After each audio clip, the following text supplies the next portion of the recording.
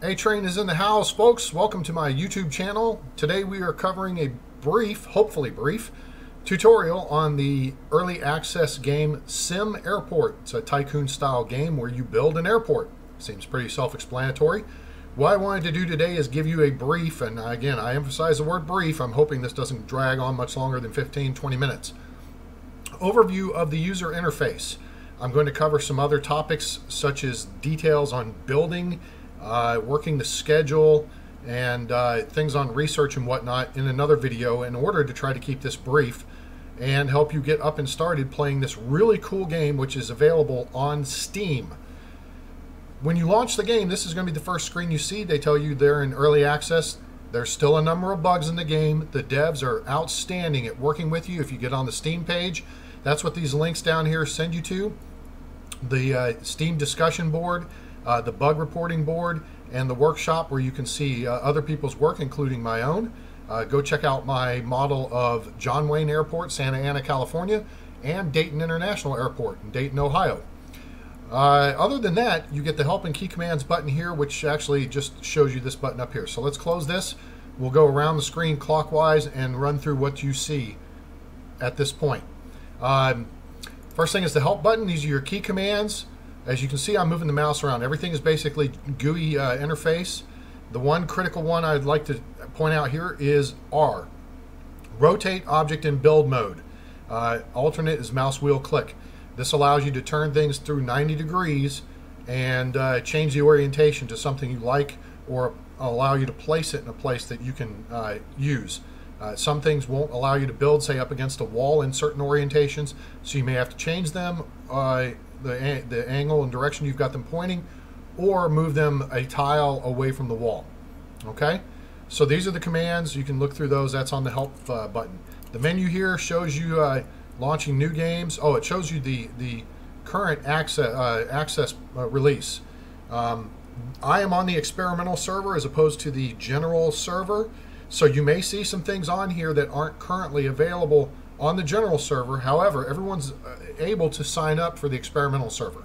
All right, there's instructions on the Steam page for doing so, and that gives you just a, uh, a little more uh, access to things that have just rolled out and uh, puts you in a position where you can help test and see if they work and give a lot of feedback to and receive feedback from the developers. So that's what you can do, uh, and uh, I highly recommend it. So you can launch a new game. There's some options there. You can save your game, load a game from here, share your uh, airport on Steam Workshop, uh, adjust your, your preferences in the game, uh, your video settings, and exit the game. Now the critical thing here is if I hit this button, boom, we're done. We're out of the game. There's no master idiot. Do you really want to do this? Uh, question that pops up on the screen. No. You hit exit game, you're going to exit the game. Very simple. All right. Research. This is a button where uh, you unlock various things and you need to work through a sequence of events. To unlock the financial side of things, you've got to research a CFO, which will cost you $6,000 and take 10 hours of time in the game. Uh, and then you have to hire a CFO and build an office for them. Okay?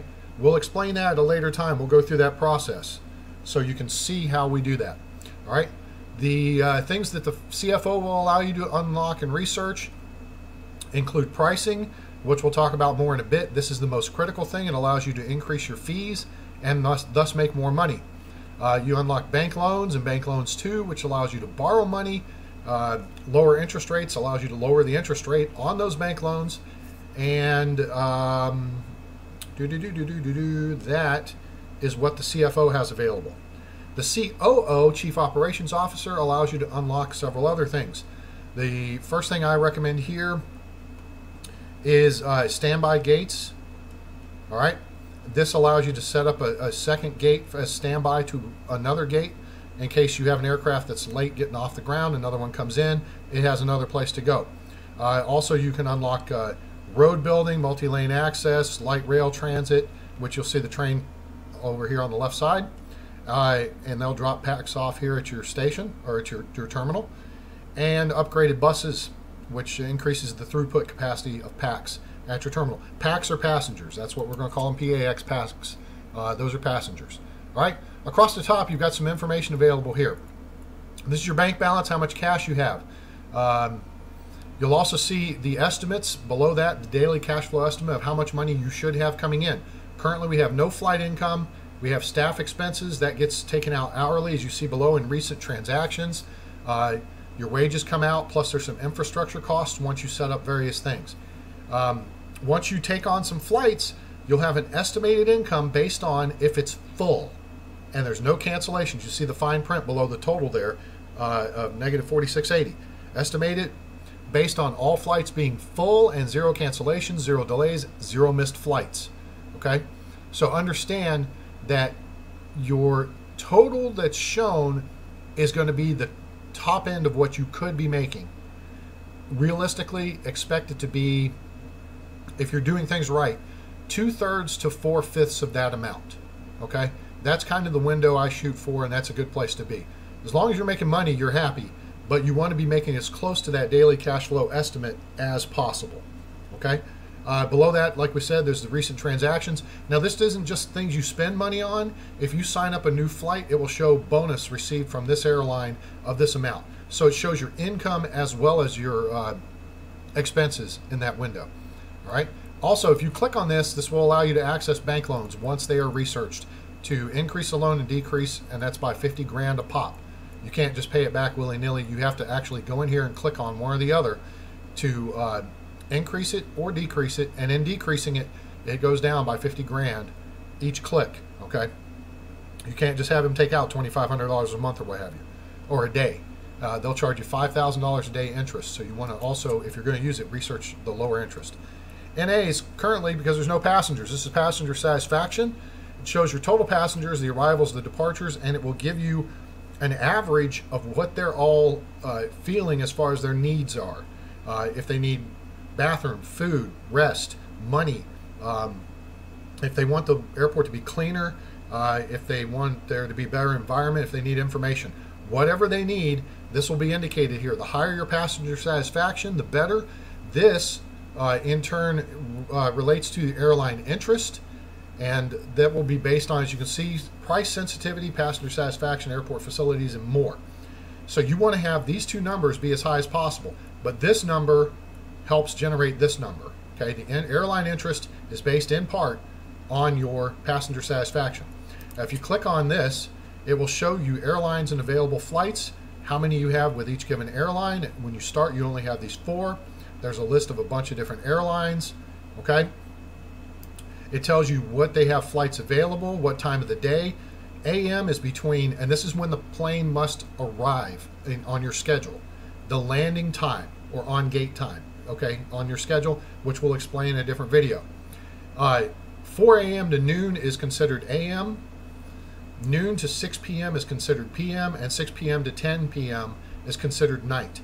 Now, you can have aircraft take off after 10 p.m., but you cannot have aircraft land after 10 p.m at present. There, I suppose it could change in the future. There's people who have expressed interest in that. And like I said, the devs have been very uh, open to suggestion. We'll see if and when that comes down the pike. So what we're dealing with is your flight operations time is between 4 a.m. and 10 p.m. essentially. All right. Typically, you'll be done and planes will be out of your hair by midnight unless you're bringing in like a 747 at 10. And then it'll be sticking around until 2 a.m. and I recommend against that.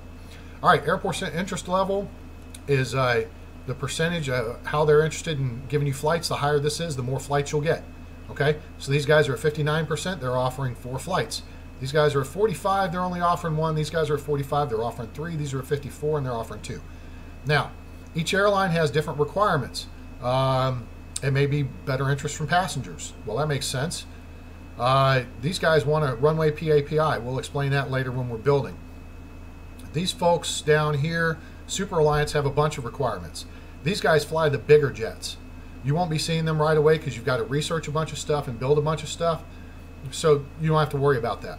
And I avoid. I, I highly recommend avoiding jumping right into the bigger jets from the get-go, simply because you don't have the facilities to to handle the passenger uh, throughput.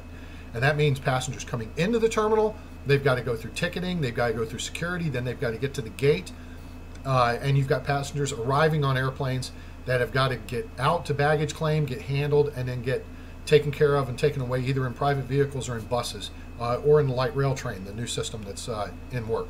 Okay, so uh, the other thing across the top is sim weather. There's a winds here are the critical part. The direction the wind is blowing, airplanes take off and land into the wind. So currently with the winds blowing to the northeast, that means they're going from the southwest to the northeast. So this direction, planes would land on runway 27, which is facing west. They'll land going into the wind. It helps provide better lift, blah, blah, blah. All right. Now the winds are blowing right down the runway, so flight operations are going to be on runway 27. Takeoffs and landings will be here going this way. As this shifts, it may shift around to the west, and then you're coming in on runway 9. Okay. We'll see that later during play, gameplay when we have planes flying. The upper right corner tells you we're on day one. It's 12:16 p.m. and I just hit the pause button. You can go one time speed, four times speed, or 10 times speed, and then pause. All right. I recommend once you you pause, make a plan, do your planning, uh, and we'll touch on the planning tool a little later, uh, and then resume at speed. And I really think 10 times speed is the way to go because it just keeps things moving and moves them faster and get you where you want to be. Okay, so continuing around, status. This will show you all the flights that you have on your schedule. All right, so if we accept a flight, uh, it will not show up until tomorrow.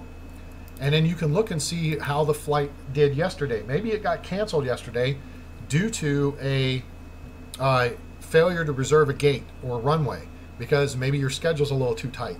Or maybe something, uh, you've got a two hour window block for a uh, plane, and it actually takes two and a half hours to unload, clean, and load the plane and get it off the gate. So you may have a flight that, that skips. If you, you have flights that cancel, you're going to wind up losing business with airlines. Right. So this gives you an idea. Look at what's going on, what's left today, and what's coming up tomorrow.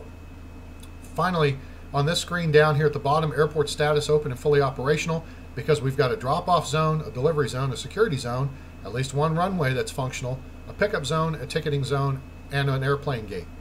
All right. So these are all functional, and we're good, uh, good to go. Schedule. We're not going to do a whole lot here because I'm going to do a separate tutorial on how to uh, work your schedule because there's a lot to it, and it's taking up an inordinate amount of time in this video. So we'll come back to that showing your schedule. Pricing, I talked about earlier, you have to research the CFO, find them in office, research pricing. This allows you to charge more money per usage of your runway, which means every takeoff, every landing, you get this amount. And then this is terminal usage. This is per passenger, either coming into your terminal on a flight or leaving your terminal on a flight. This is how much you make off of each passenger. Okay, and you can raise and lower these prices as needed, uh, and then you save them with the save button. And then they'll advise you that some uh, airlines are more cost sensitive than others, so you've got to be uh, wary of this.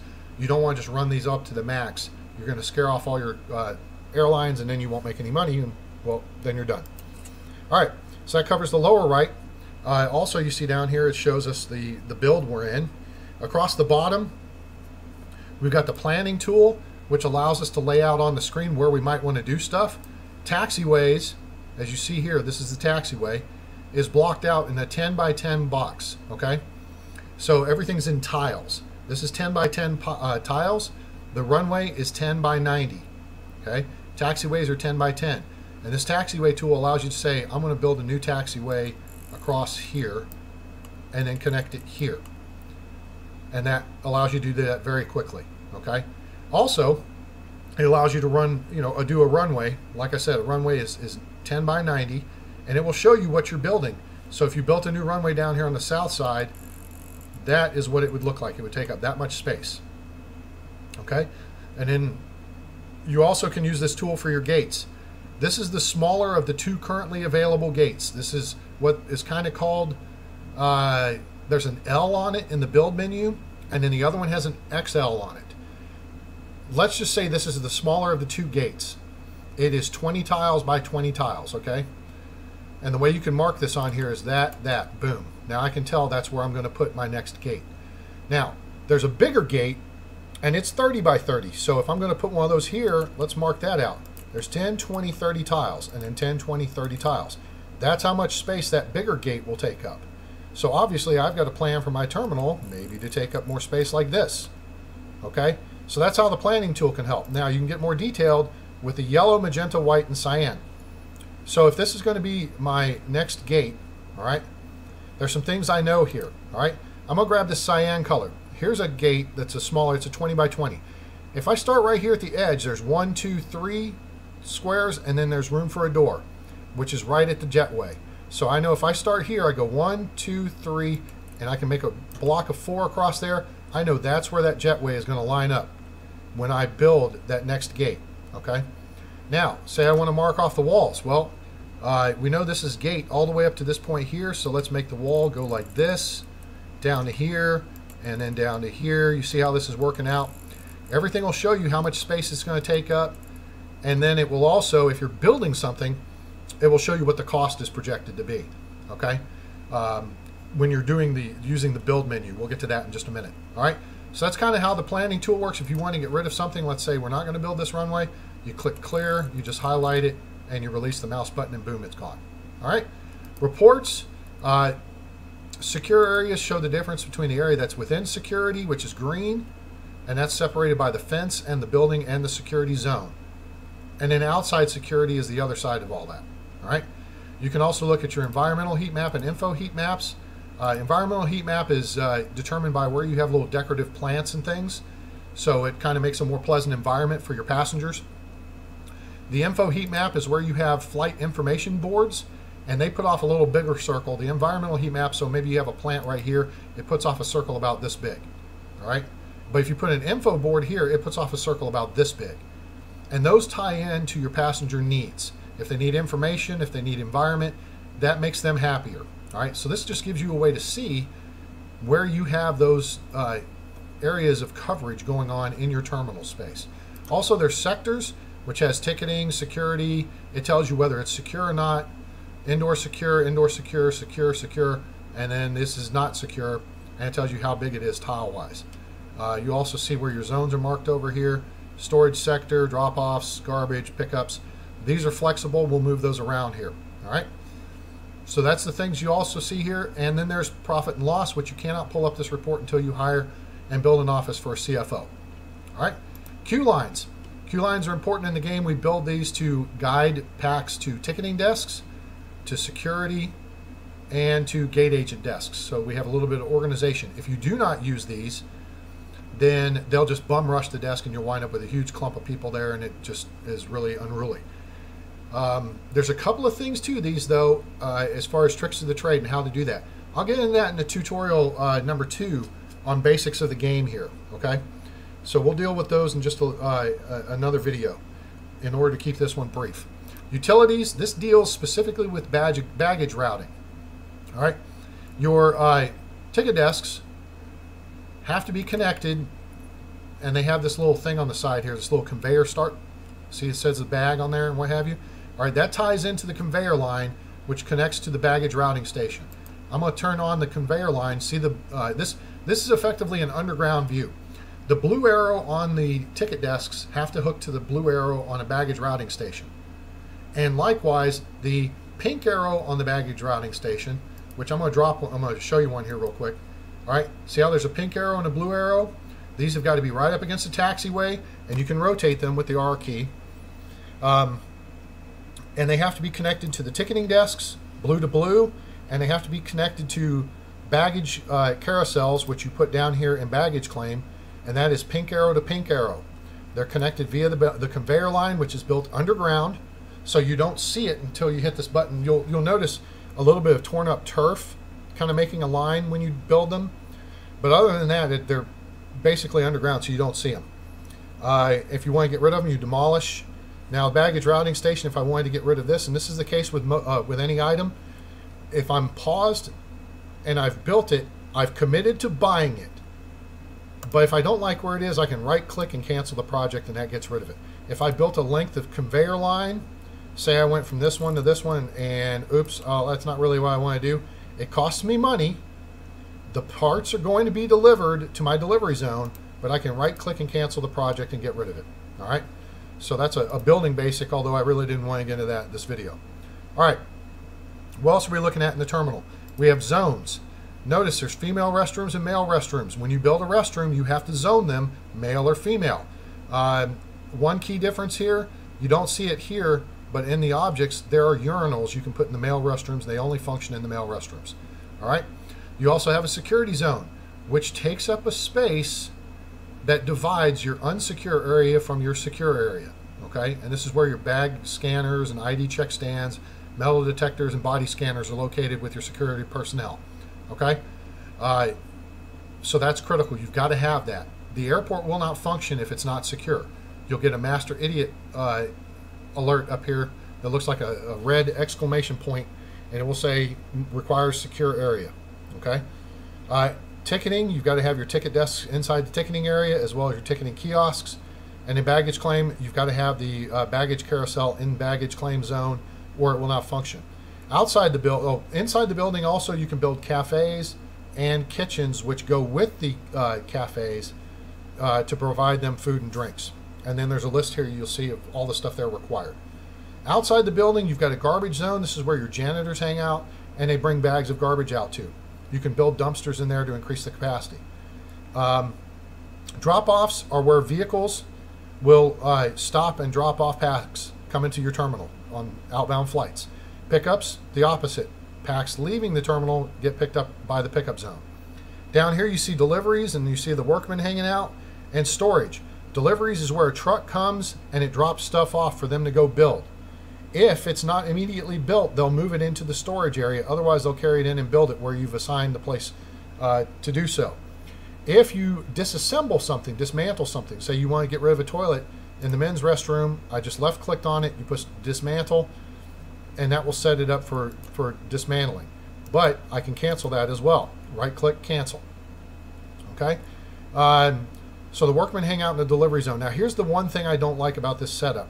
You can remove zones, and this is the standard uh, default way it's set up.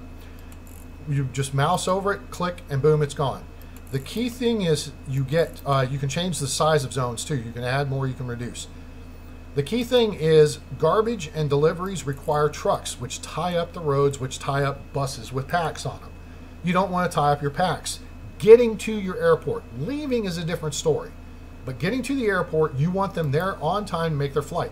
So we're going to put the drop off zone up here by ticketing. Okay, it doesn't have to be real big. Boom, that's there. And then we're going to go down here to the pickup zone, which is right there.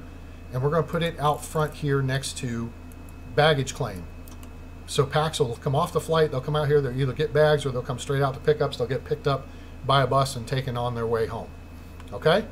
So that's how that works. But this moving garbage and deliveries beneath, because this road runs downward. Okay? You'll see the bus come along. I'm going to go ahead and uh, push time here. See, there they go.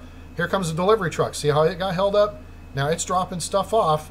Now they quickly moved that over to, and this is uh, conveyors. Baggage routing station, conveyors, okay?